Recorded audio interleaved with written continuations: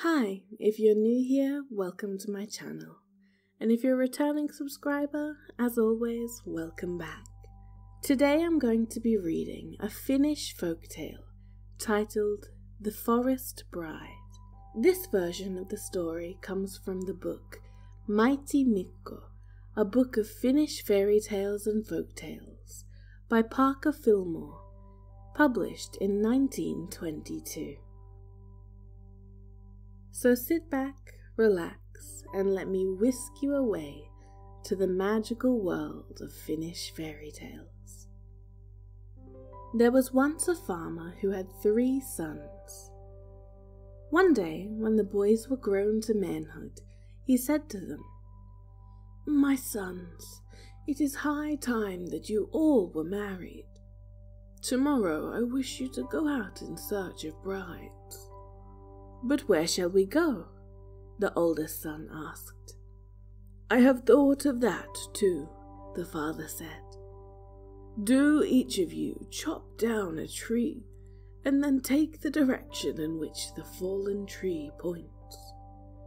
I'm sure that each of you, if you go far enough in that direction, will find a suitable bride. So the next day, the three sons chopped down trees. The oldest son's tree fell, pointing north.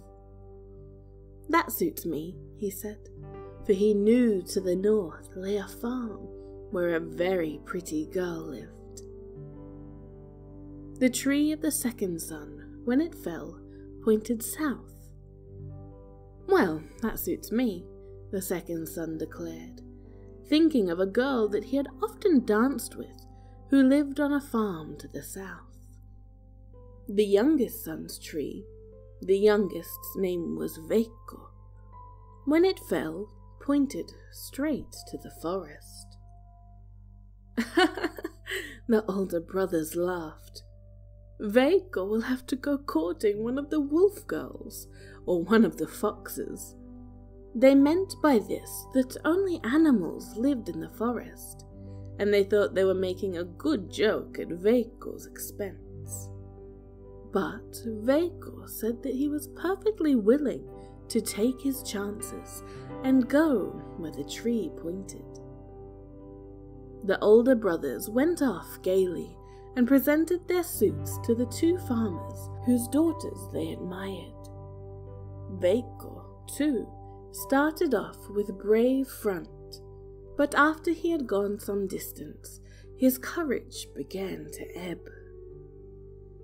How can I find a bride, he asked himself, in a place where there are no human creatures at all? And just then he came to a little hut, and he pushed open the door and went in. It was empty. To be sure, there was a little mouse sitting on the table, daintily combing her whiskers. But a mouse, of course, doesn't count. There's nobody here, Veikko said aloud. The little mouse paused in her toilet and, turning towards him, said reproachfully, Why, Veikko, I'm here. But you don't count. You're only a mouse. Of course I can't, the little mouse declared. But tell me, what were you hoping to find? Well, I was hoping to find a sweetheart.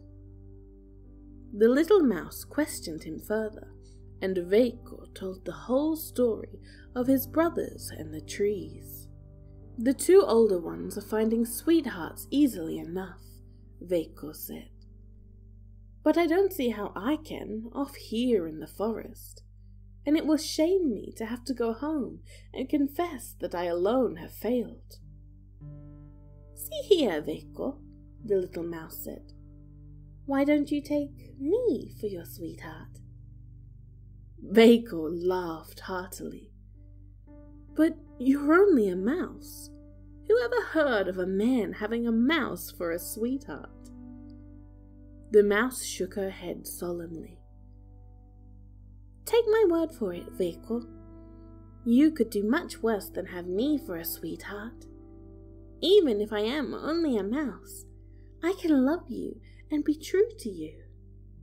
She was a dear, dainty little mouse, and as she sat looking up at Veikko with her little paws under her chin and her bright little eyes sparkling, Veikko liked her more and more. Then she sang Veikko a pretty little song, and the song cheered him so much that he forgot his disappointment at not finding a human sweetheart and as he left her to go home, he said, Very well, little mouse, I'll take you for my sweetheart. At that, the mouse made little squeaks of delight, and she told him that she'd be true to him and wait for him no matter how long he was in returning. Well, the older brothers, when they got home, boasted loudly about their sweethearts. Mine, said the oldest, has the rosiest cheeks you ever saw. And mine, the second announced, has long yellow hair. Veikko said nothing. What's the matter, Veikko? The older brothers asked him, laughing. Has your sweetheart pretty pointed ears or sharp white teeth? You see, they were still having their little joke about foxes and wolves. You needn't laugh, Veikko said. I have found a sweetheart. She's a gentle, dainty little thing, gowned in velvet. Gowned in velvet? Echoed the oldest brother with a frown. Just like a princess, the second brother sneered. Yes, Veikko repeated, gowned in velvet like a princess. And when she sits up and sings to me, I'm perfectly happy. Huh, grunted the older brothers, not at all pleased that Veikko should have so grand a sweetheart. Well, said the old farmer after a few days, now I should like to know what those sweethearts of yours are able to do. Have them each bake me a loaf of bread, so that I can see whether they're good housewives.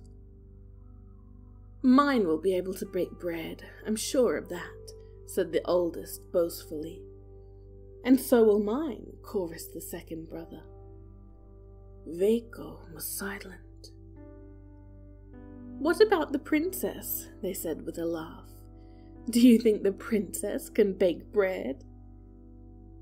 Well, I don't know, Veikko answered truthfully. I'll have to ask her. Of course, he had no reason for supposing that the little mouse could bake bread, and by the time he reached the hut in the forest, he was feeling sad and discouraged. When he pushed open the door, he found the little mouse, as before, seated on the table, daintily combing her whiskers. At the sight of Veikko, she danced about with delight. I'm so glad to see you, she squeaked. I knew you would come back.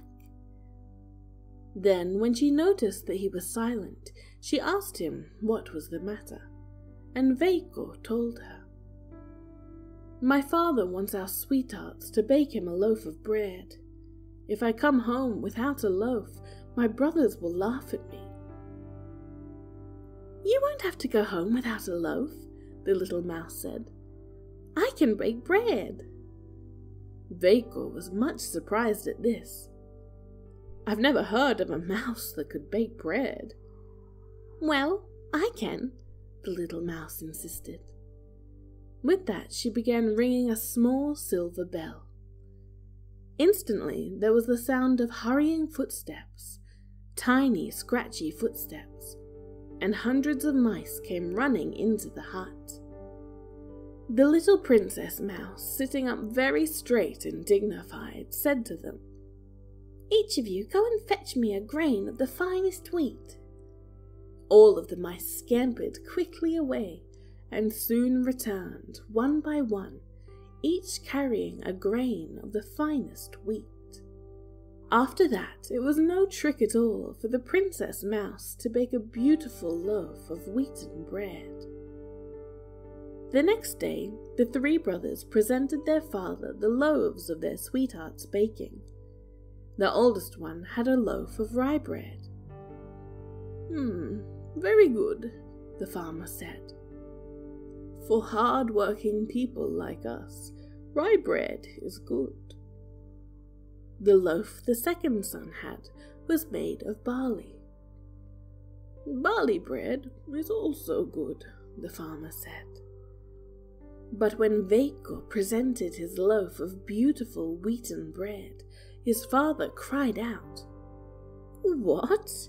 White bread? Oh, Veikko, now must have a sweetheart of wealth. Of course, the older brothers sneered. Didn't he tell us that she was a princess? Say, Veikko, when a princess wants fine white flour, how does she get it? Veikko answered simply. Well, she rings a little silver bell, and when her servants come in, she tells them to bring her grains of the finest wheat. At this, the older brothers nearly exploded with envy until their father had to reprove them. There, there, he said, don't grudge the boy his good luck. Each girl has baked the loaf she knows how to make, and each in her own way will probably make a good wife. But before you bring them home, I want one further test of their skill in housewifery. Let them send me a sample of their weaving. The older brothers were delighted at this, for they knew that their sweethearts were skilful weavers. We'll see how her ladyship fares this time, they said, sure in their hearts that Veikko's sweetheart, whoever she was, would not put them to shame with her weaving. Veikko, too, had serious doubts of the little mouse's ability at the loom. Who ever heard of a mouse that could weave? he said to himself as he pushed open the door of the little hut. Oh, there you are at last, the little mouse squeaked joyfully. She reached out her little paws in welcome, and then in her excitement she began dancing around the table. Are you really glad to see me, little mouse? Veikko asked. Indeed I am, the mouse declared. Am I not your sweetheart? I've been waiting for you and waiting, just wishing that you would return. Does your father want something more this time, Veikko? Yes, and it's something I'm afraid you can't give me, little mouse. Perhaps I can. Tell me what it is. Well, it's a sample of your weaving. I don't believe you can weave. I've never heard of a mouse that could weave. Tut tut, said the mouse. Of course I can weave. It would be a strange thing if Veikko's sweetheart couldn't weave. She rang again the silver little bell, and instantly there was the faint of a hundred little mice feet running in from all directions, and they sat up on their haunches, awaiting the princess's orders. Go, each of you, she said, and get me a fibre of flax the finest that there is. The mice went scurrying off, and soon they began returning, one by one, each bringing a fibre of flax. When they had spun the flax and carded it, the little mouse wove a beautiful piece of fine linen. It was so sheer that she was able, when she folded it, to put it into an empty nutshell. Here, Veikko, she said. In this little box is a sample of my weaving. I hope your father will like it. Veikko, when he got home, felt almost embarrassed, for he was sure his sweetheart's weaving would shame his brothers. So at first he kept the nutshell hidden in his pocket. The sweetheart of the oldest brother had sent a sample of her weaving, a square of coarse cotton, Hmm, not very fine, the farmer said. but good enough. The second brother's sample was a square of cotton and linen mixed. Mm, a little better, the farmer said, nodding his head. And he then turned to Veikko. And you, Veikko, has your sweetheart not given you a sample of her weaving? Veikko handed his father a nutshell, a sight which left his brothers bursting out laughing. Veikko's sweetheart gives him a nut when he asks for a sample of her weaving.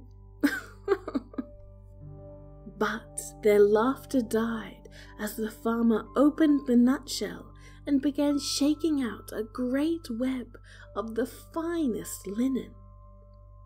Why, Veikko, my boy, he cried. However did your sweetheart get threads so fine for a web? Veikko answered modestly. She rang a little silver bell and ordered her servants to bring her in fibres of the finest flax.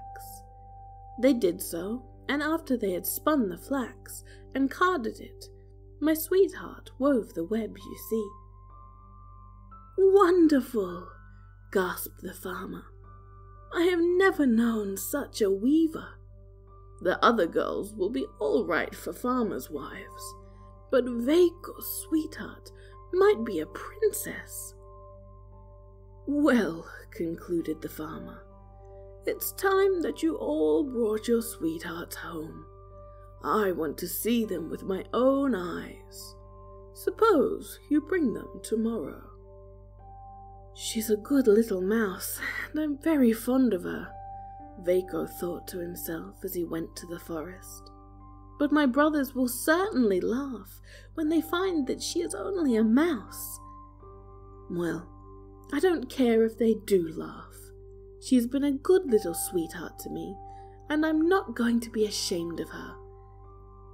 So when he got to the hut, he told the little mouse at once that his father wanted to see her.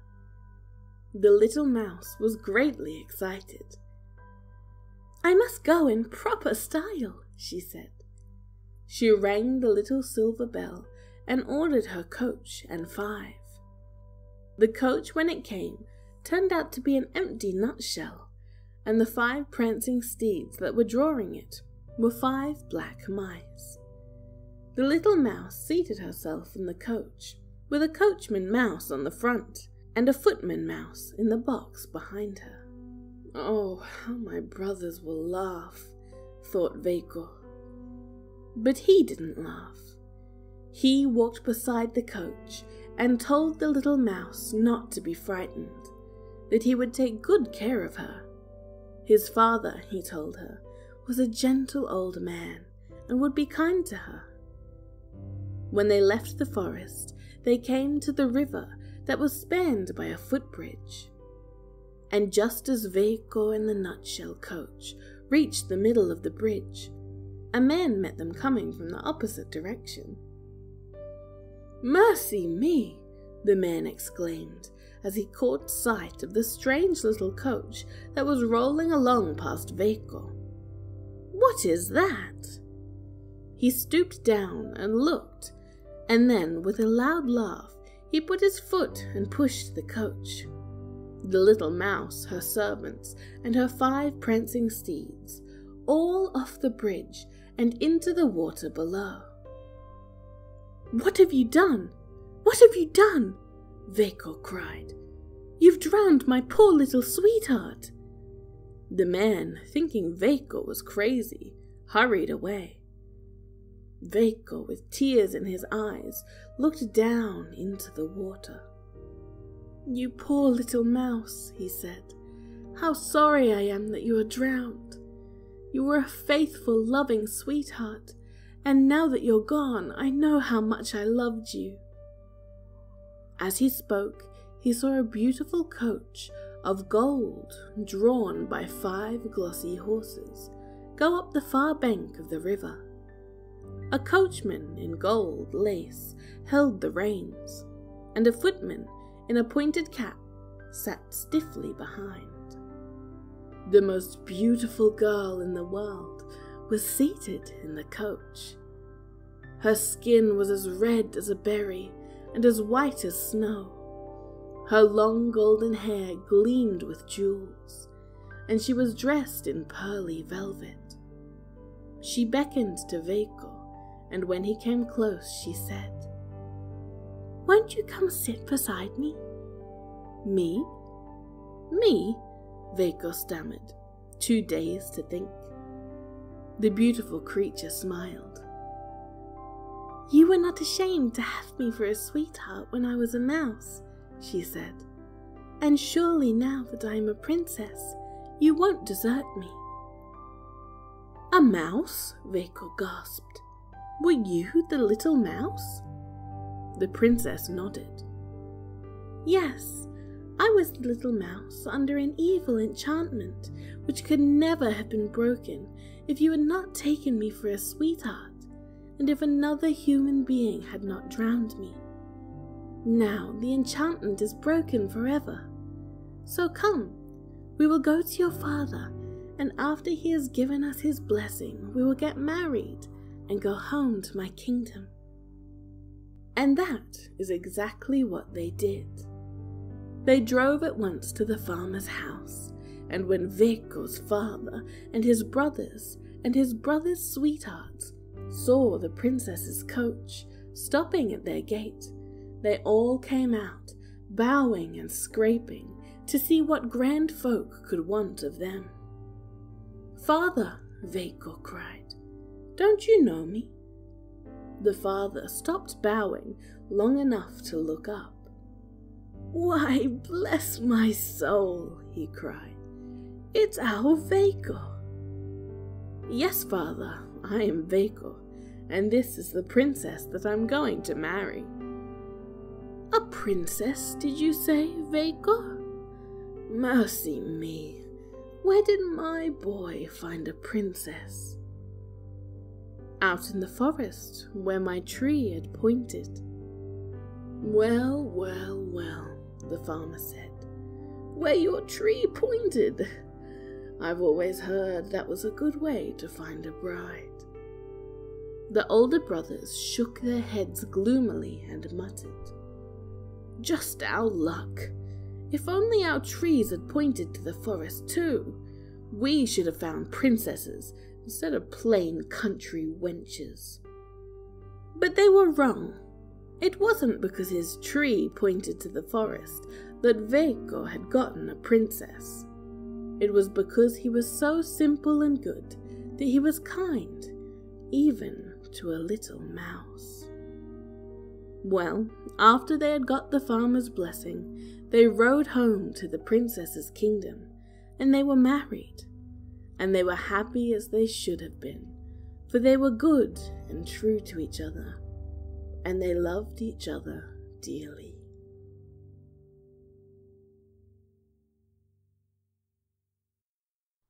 I'd like to take a moment to say a big thank you to the members of the channel as well as my patrons on Patreon for supporting my work. Folklore and fairy tales play such a big part in my life, and I love being able to share them here with you. If you're interested in finding out more about channel membership, you can find all the information here or in the link in the video description. Or you can head over to my Patreon page. You can find the link in the description of this video or on my YouTube homepage.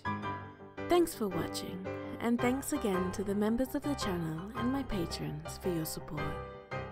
But for now, stay safe, and I'll see you in the next video.